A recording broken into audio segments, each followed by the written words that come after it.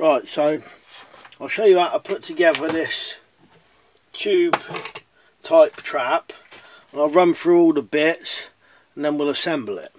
Hopefully I won't forget any parts. There's a couple of bits which I thought might be important or you could change. So first of all, you've got, this is like a drain pipe, whatever, so PVC pipe. And depending on what animal you're catching, is how long or how big you use your tube. But I've got a feeling this would work with all sorts of different sizes. This would probably be good enough maybe for a rat, or maybe you might want to be longer, rat or a mouse I reckon. So, I've got one hole drilled here, and then a slot cut here. Now this bit, I thought was, I think is quite important. Now I've seen similar traps to this, but they don't have this. But what they do is this slot is slightly wider. That's well, so far as I know, anyway, right? And that, if I forget to say, so this stick, when it flips up, has something to kind of just go to at the end there, like that in there just slightly. Normally it just flips over and goes straight over the top. If you don't have that what happens is it comes up and the whole thing just sticks like that and just gets wedged. Now having the wider gap is alright if for example you're catching crabs or something like this because that's where I've seen a similar trap and it's a crab trap. So obviously a crab isn't going to get out small holes. But a mouse or a rat can squeeze through you know quite a small hole surprising so you just need that to keep this bit tight. Right, so I'll go on to the next part, which is this back part. Now, this is just an easy, quick way of doing this. You could lay this down, draw around it, lay this down on a piece of wood, stick a pencil and draw around it, and block this end with a piece of wood, or you could put a piece of mesh over it or whatever. But the, but the simple way I thought thought of it was get this bit of can and you've got to screw a flat piece across like that. And all that's for so when that goes on there and you've duct taped it or screwed it that will keep it upright. But that's a nice just a nice quick simple way of doing it. So we're going to duct tape that on in a minute. And then you've basically got this is the door. And you've got two notches at the top and then this part cut out. And it's flat at the top and it can be any kind of shape at the bottom as long as it's definitely flat at the top and deep enough to take this piece here.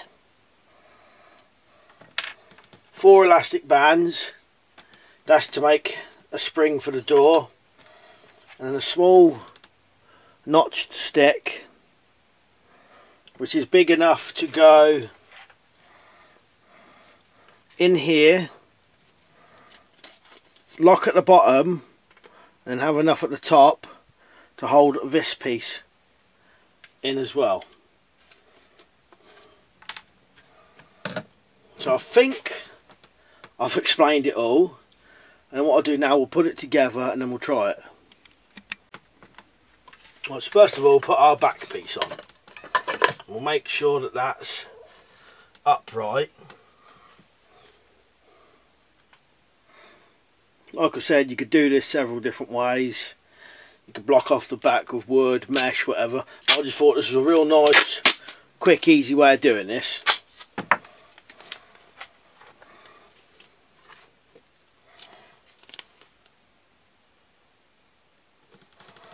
And something like a mouse isn't going to be able to push this off, highly unlikely, or a rat I don't think, because they're not going to be able to get to it.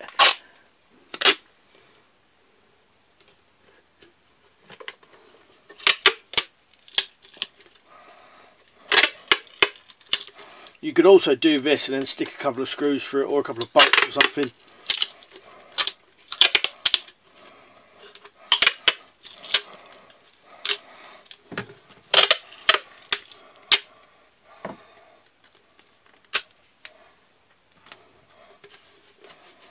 So that's our end piece on.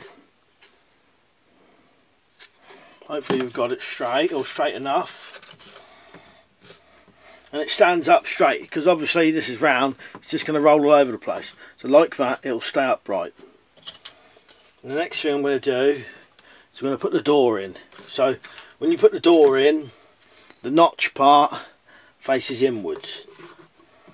And then get four elastic bands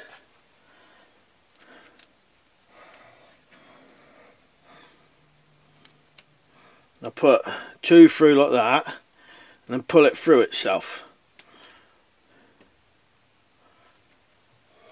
And then stick those on.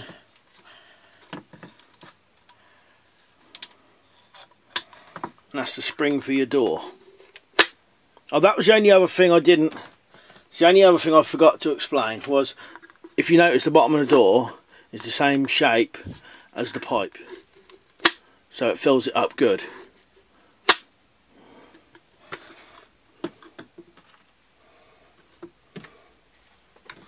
Now we'll set it, so hopefully you can see this. I'll do it around this way. Pull this up and wedge your stick in there.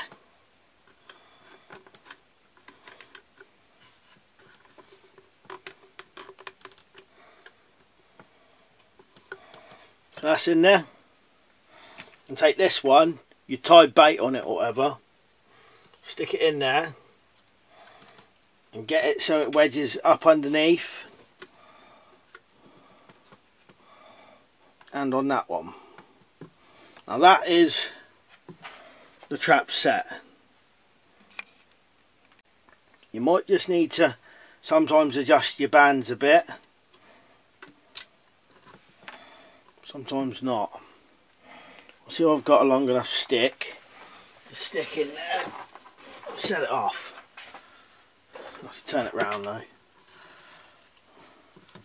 If you set this off um, while practicing, this stick can fly up and hit you in the face, so just be careful.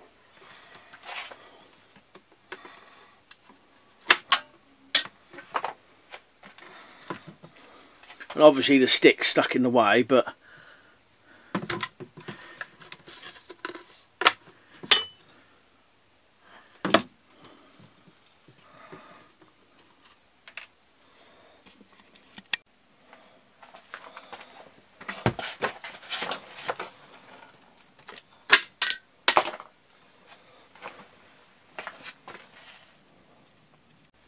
Well that's essentially that trap tube type trap.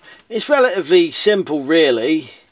They look hard like in books and that but or on the internet but when you try it it's not actually that bad at all. I'll just set it up one more time. The only thing I think might be slightly hard is getting your bait stick in when it's got a load of bait tied to it. So you're going to maybe shave it down or shave a notch in it.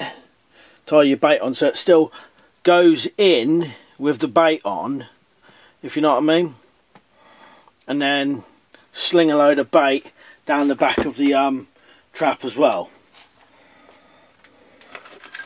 I'll just set it off by hitting the um, the top of the trigger stick. Right, cheers for watching. If you got any questions or anything, then just ask.